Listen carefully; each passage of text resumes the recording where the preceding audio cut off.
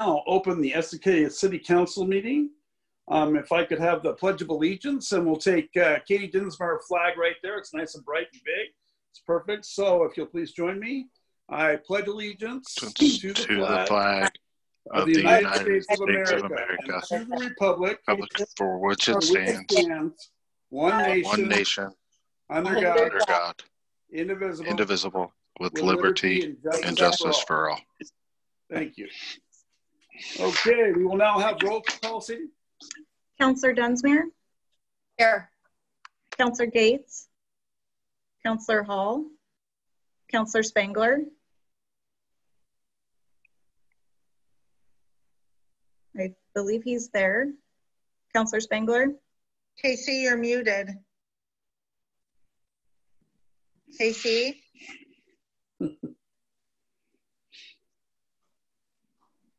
well, I'll continue.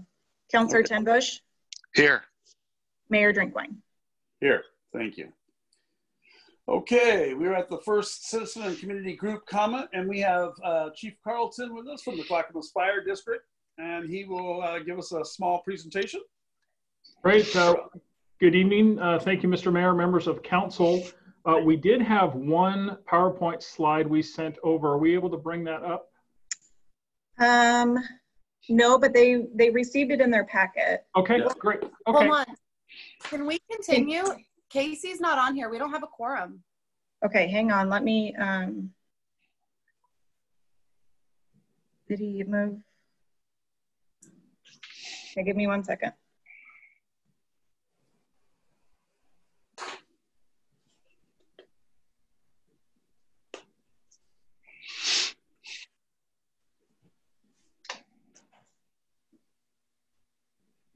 Okay, I've asked Justin to call in. Um, we might be able to continue with just the presentation portion if there's no discussion. Okay. But let me see if Casey's gonna pop back on.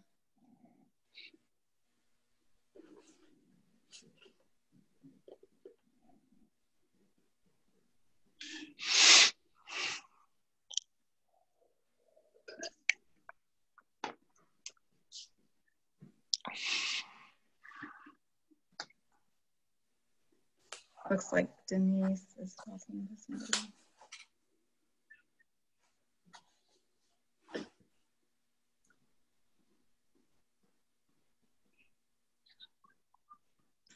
Casey's having internet issues. Justin's gonna get on. Okay.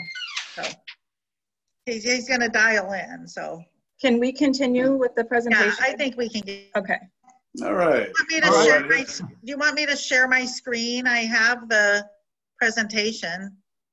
Sure. Yeah, go ahead and put that up and uh, he can kind of relate to that. Sure, that'd be great.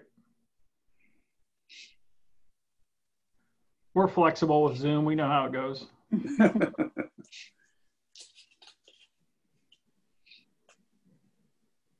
Our lives according to Zoom. Well, that's right. Yeah. I'm, I'm not going to say go. the new normal. That's right. So if we can scroll down just a little bit, if possible.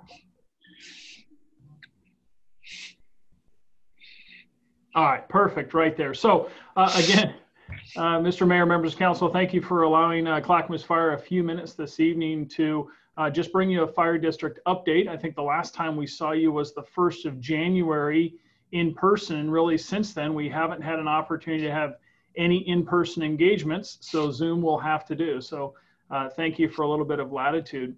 Uh, just four points that I wanted to talk about and certainly happy to answer any questions. Uh, the first is the contract for service, and we talked about this back in January.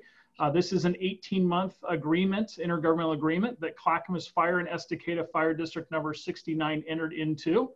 Uh, it began again on January 1st of 2020, and it's set to terminate June 30th of 2021. Uh, the focus within the contract is serving the community. I think that's something that we're all very uh, proud of is as uh, public safety officials being out and doing our very best to help uh, protect and serve the community. So starting in January, uh, we brought a few enhancements to Estacada Fire. One is we increased the number of uh, on-duty firefighters at the main station or station 330, which is just across from City Hall. So uh, we are proud to be able to uh, deploy additional firefighter paramedics into the community. And then just this last Thursday, we have now staffed the George Road uh, Community Fire Station four nights in a row with volunteer firefighters. So again, uh, our ability to deploy both career and volunteer firefighters certainly helps uh, with fire and EMS um, uh, responses within the city and the surrounding fire district. Legal integration. So part of the contract for service speaks to uh, a legal integration vote in the form of a merger, and that is set to take place November 3rd of 2020. Uh, why this is important to the city of Estacada uh, is because the fire districts need three resolutions to be passed uh, before we can uh, go before the voters within both fire districts to consider a merger. So we need Clackamas Fire District and Estacada Fire District both to approve a resolution uh, for the merger, and we also need the city of Estacada. So under ORS, since Clackamas Fire does not currently uh, protect permanently the city of Estacada, we would be asking the city to uh, sign an authorizing resolution allowing that merger to go forward in uh, November of 2020. So tonight we just wanted to share a few updates from the district and then we've asked if we can come back at your next city council meeting this month and go a little more in detail about what that authorizing resolution is, and then certainly answer any questions. Timing wise, we will be asking the Clackamas Fire Board on Monday, June 15th, and the Estacada Fire Board on Thursday, June 18th to approve those resolutions. So by the time we come back and see the mayor and council, uh, we sh you should only be seeing us if we have two fire districts, which have authorized uh, those resolutions so that we can move forward. And then public education. So we, we really feel that we do our best uh, communicating and our best outreach when we can do it face to face. And certainly in these really trying times with COVID 19, we haven't been able to do that. So we will be launching more of a social media or online campaign to help inform and educate uh, voters and citizens within both fire districts as we go through uh, the summer and into the fall. A little bit about COVID-19. I know everyone is dealing with it. It's such a such a tragic pandemic. Uh, this started in early March. Uh, we, just like uh, many public agencies, have been uh, closed or had to re redo our normal operations. Uh, it has not impacted our service delivery, but it certainly has impacted the way that we uh, meet and greet visitors. So all of our offices are still closed to the public. We are working hard though on a, a recovery and reintegration strategy so that we can open back up to the community. But certainly we're watching uh, as Clackamas County applies for phase two, if they're able to do that, and, and, certainly the number of new cases for COVID. Throughout the entire pandemic, our number one priority is to protect the health and well-being of our personnel, both career and volunteer, and the communities we serve. So we're being very conscientious of how this is impacting our communities. And then just the last piece is community engagement. And uh, with COVID 19, we really had to um, stop attending a lot, uh, all, most, if not all, of the community events. And this is difficult for us because we love having fire station open houses. We love attending uh, parades and celebrations. But with COVID 19, we had to ensure, as I said, the health and well being of all of our personnel. Well, we made an exception this last week, and I was very proud to make that ex exception. And that was we came out in the communities of Estacada and Oregon City, and we recognized our 2020 graduating seniors. What an incredible milestone in these young men and women's lives, and Clackamas Fire wanted to be part of that. So we still used extreme caution and our physical distancing, but maybe you saw us out in Estacada just saying thank you and job well done, well done to the Estacada High uh, graduating seniors. So with that, I know you have a very busy agenda. I wanted to see if you had any questions for us before we look to come back and visit you in two weeks and talk more about the authorizing resolution.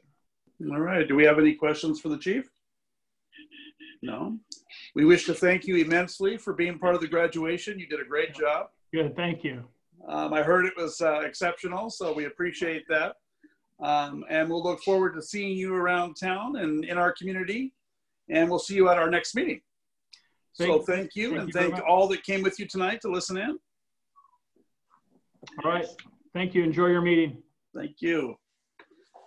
Okay, we are at the uh, consent agenda. So all of you have had a chance to read over the consent agenda. Can I get a motion to accept? I move to approve the consent agenda. Okay, can I get a second? I'll second. Yeah, we're first and second. All those in favor say aye. Aye. Aye.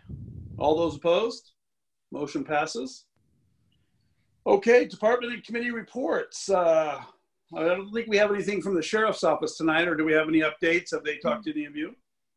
No, The just the report is in your packet. Okay, great. Um, it's uh, committee and commission liaisons. Any of you had any conversations with anybody? No? Okay, uh, city managers report. Um, yeah, so, um, just an update on what's going on in the county with the COVID, um, 19.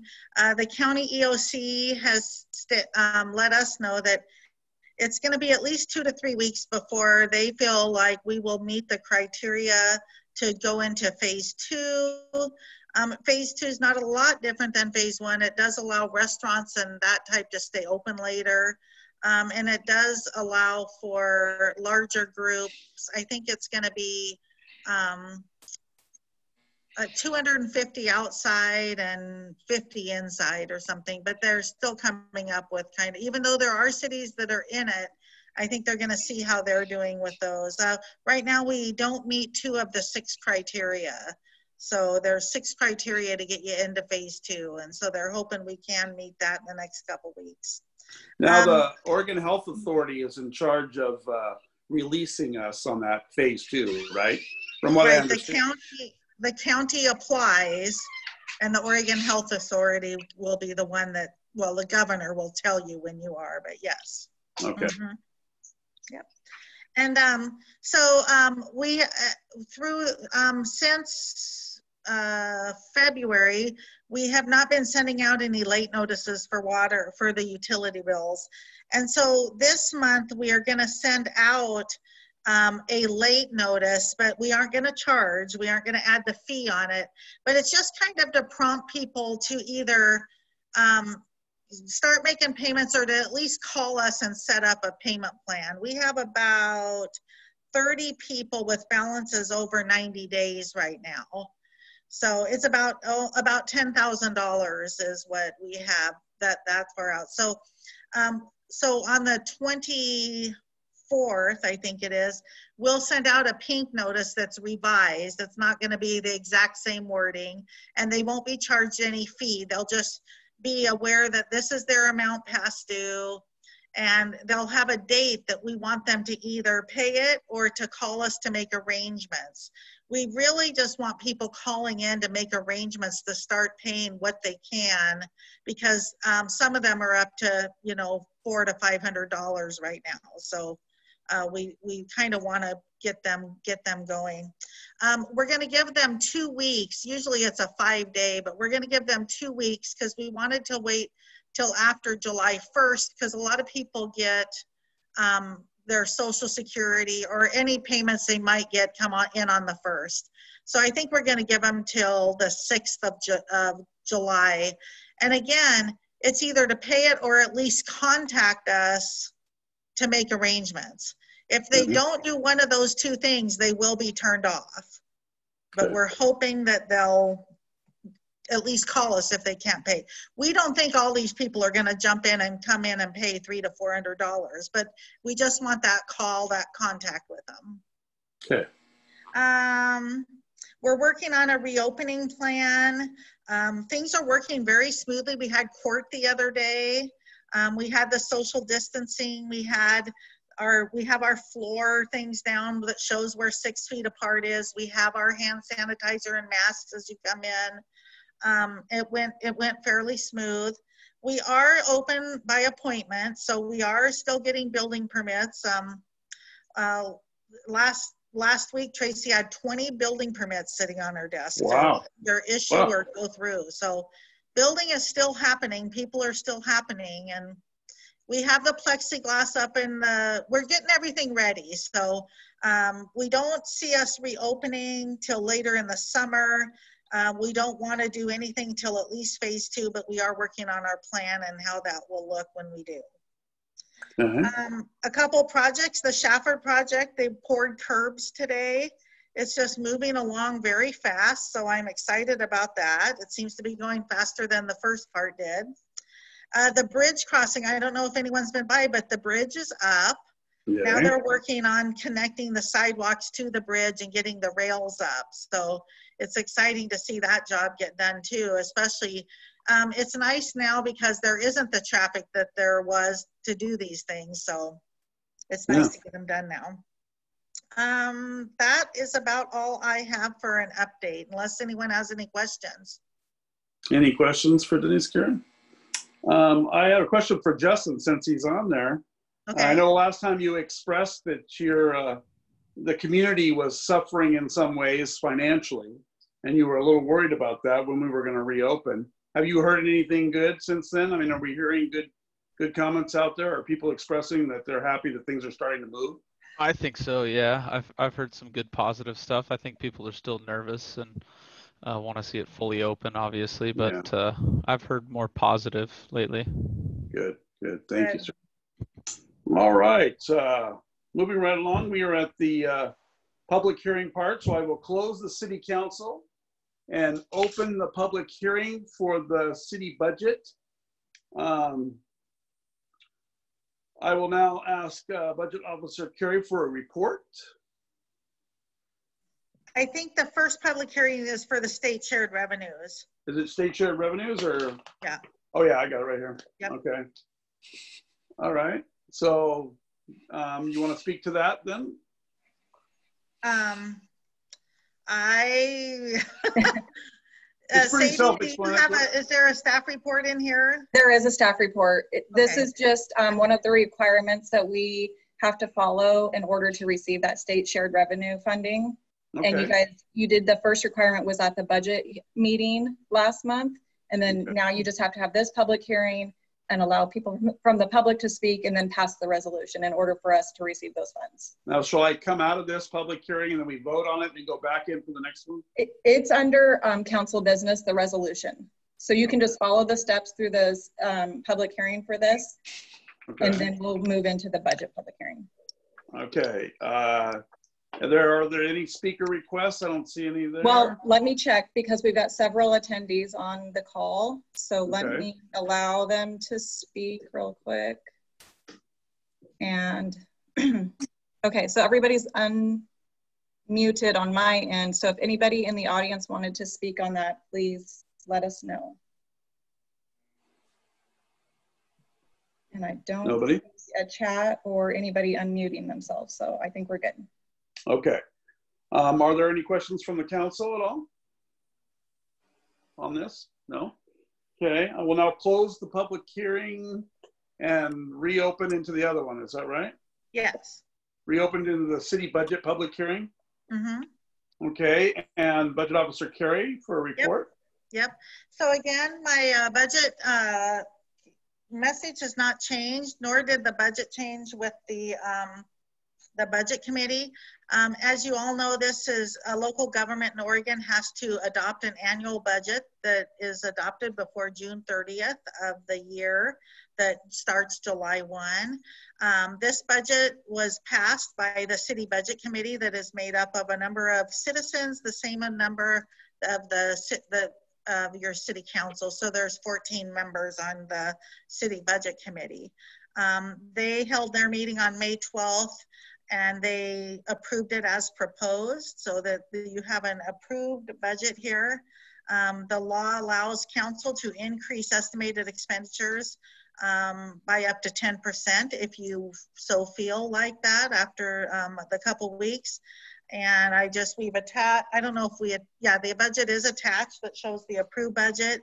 And we just uh, need a, we will pass that budget in a resolution at our next meeting.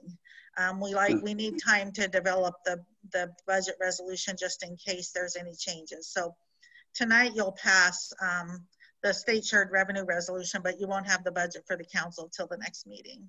Okay, all right, So thank I you. will take any questions if anyone has any from Any that. speaker requests, Sadie? Sadie, would you ask them if they, Yeah, I don't, I don't see anybody unmuting themselves and Okay. we haven't got a chat. So I don't believe we have any from the Okay. All right. Any uh, questions from council before we go out of this? No? Okay, I will now close the public hearing and reopen the city council. And we will vote on the state shared revenues. So do I have a motion or we want to do roll call on that? um, so the resolution 20009 Yeah, down in council business. So yeah, we just need a motion in a second. And uh, Sadie, do you want to, I can do roll call vote. okay, Okay. so do I have a motion? I'll make the Move to motion to approve. approve resolution I have a motion to twenty twenty 9 Okay, and do I have a second? I'll Second. second. Okay, all those in favor say aye or do you want to roll Aye. call? Aye. Aye. We're all. Aye. We're all aye. All right. And then you don't need one on the other one, is that right? We don't have another one tonight, right? It'll be at your Okay. next meeting. All right, now we were at uh, Council Weaver's resignation and discussion. Um, He's given his resignation. I think he moved to a new location. I don't think it had anything to do with uh, council or his discontent or anything like that. Um, We will miss him. He's made great contributions to our, our council and, and we appreciate his service. And uh, we hope that he finds his direction wherever he chooses to go. So we appreciate him and we thank him for that. Um, we are now at the declaration of emergency discussion. So I will hand that to you, Denise. Right, so, um, oh, does someone, I was gonna say, we didn't necessarily have much of a discussion about the Weaver resignation. Well, I didn't think there was too much to discuss, but if you want to talk about it, we can talk about it. Well, I guess um, I wanted to go back to the discussion that we started right before the meeting. Did we decide to fill the vacancy with an appointee, or are we going to let it ride until election season? I think we'll uh, fill the positions with appointees for that What six-month period, just so they can get their feet wet if they choose to want to run for council. And then if they want to rerun when we go through that, Okay. then we'll. we'll I just from there. wanted to double check that that was what was decided because um, I think that's a great idea. I think so so too. we will advertise and we'll try to get that in the next paper and do some advertisement and some outreach on our Facebook and our website. Okay. All right, any other questions to that? No, okay. Uh, then we will move on to the declaration of emergency discussion that we were started. Denise? Yeah, so um, I gave you all the dates on our, on the uh, staff report about what the county is doing. The county has declared an emergency until June 30th.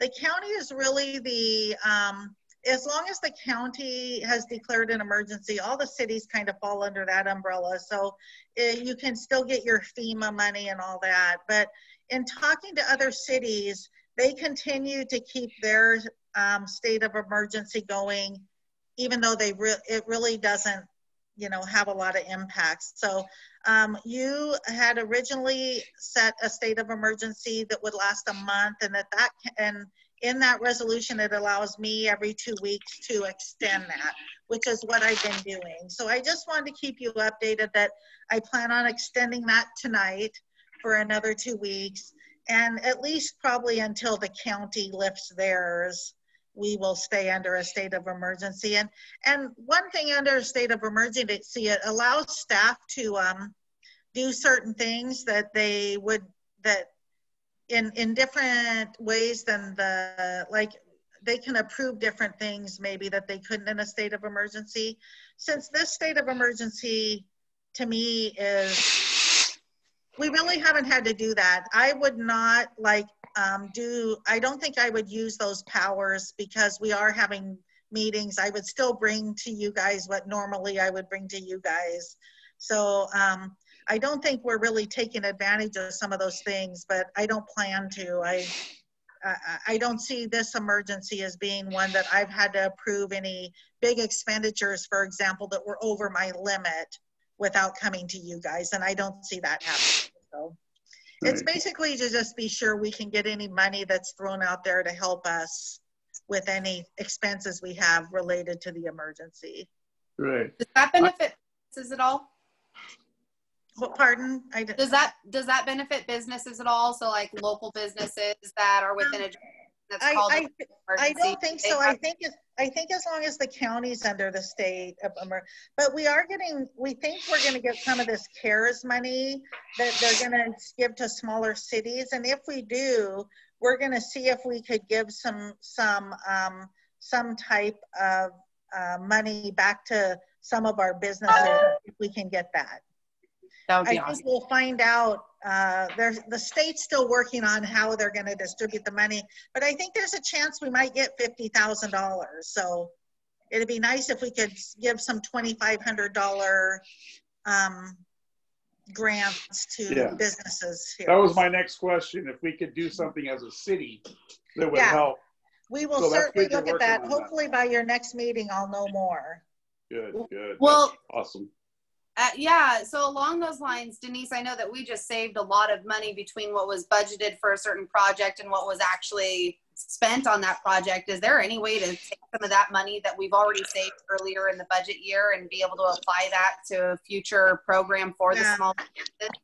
Unfortunately, that, that money was in street, in SDCs Oh, okay. it has to be general fund money. But Yeah, um, we're sure if that working on, we're working on coming up with some, some money, so. some creative Good. ways. Yeah. Awesome. I like. it. Well, we appreciate that. So thank you on that. You're welcome. Um, so any other discussion on this, uh, declaration of emergency? No? No. Okay, moving on. We are at the next citizen and community group comment. Do I have any city there in the audience? Um, I don't see anybody chatting, but I'll give them just a moment if they want to speak. Okay, And I don't see anybody. Nope. No. okay. Moving right along, we are at the mayor council reports and comments. I'll start off with Justin, since you're on there. I have nothing. Nothing? No, Okay, I'm- Jerry. Uh, I've got nothing either, but thank you guys for all your hard work, Sadie, Denise. Um, it's, yeah, thank you guys. All right, Katie. I'll echo what he said. Thank you to the city staff. You guys are amazing. Thank you again. And on my part, uh, obviously, staff is incredible.